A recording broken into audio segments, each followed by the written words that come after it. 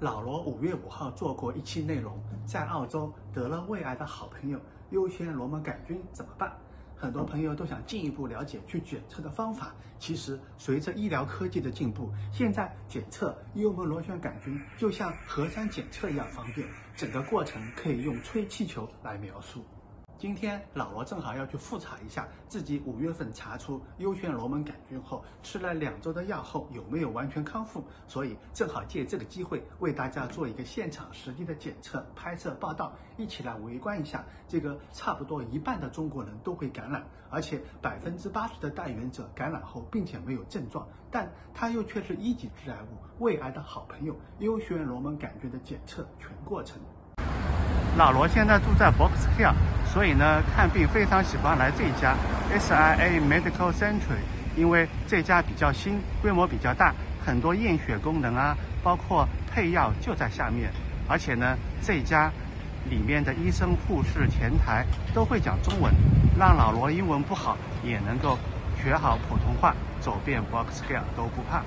做螺旋幽门杆菌的测试呢，一般性都放在一早，而且呢要做到三个不：不喝水、不刷牙，而且不能吃任何早饭。做测试之前呢，先喝一颗小药丸，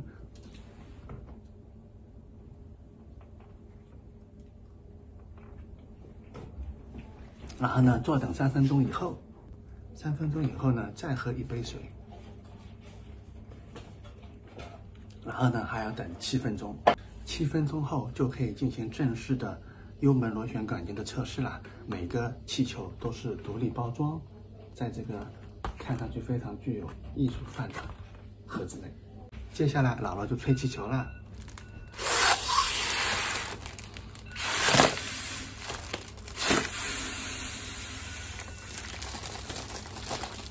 好的，谢谢。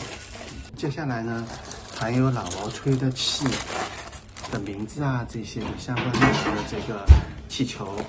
然后就放在这个包装里面，送到实验室去检测。过两天呢，老罗就可以拿到呃化验报告，看看我经过上次的治疗，自己的幽门杆菌、螺旋杆菌有没有被治好。口口相传是幽旋螺门杆菌的主要传播方式，再加上我们不喜欢实行分餐制，不习惯用公筷，所以身边有螺旋幽门杆菌的朋友还是非常多的。为了自己和家人、朋友们的健康，大家一旦觉得胃部有哪里不舒服，就赶快去吹个气球检测一下吧。明天，老罗在墨尔本第五次封城期间策划的。澳洲企业家英语沙龙八月线下精品课就正式开始了。八月份就一共八次线下课，每小时的收费就三十澳币，一共就八个人的小班，硬是被我和文波老师不惜血本，包括教材都是重新设计定制的，搞成了商学院般的标准。赶快关注老罗，明天我就为大家现场报道这次沙龙的精彩开启。